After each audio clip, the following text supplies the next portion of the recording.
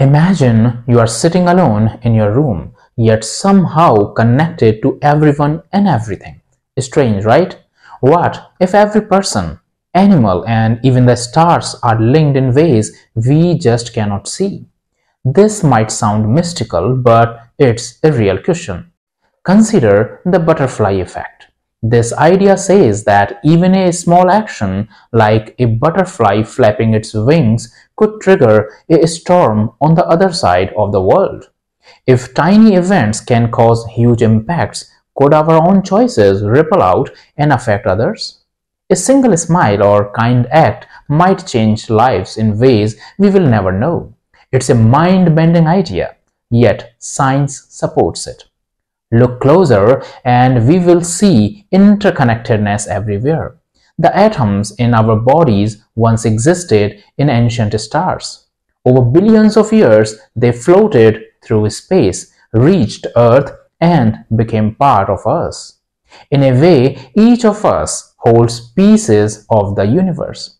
We are connected to the past, to all life, and to distant galaxies. Then there is quantum physics. Quantum entanglement means two particles can affect each other no matter how far apart they are, as if they are linked invisibly. Could our own thoughts or actions connect like this too?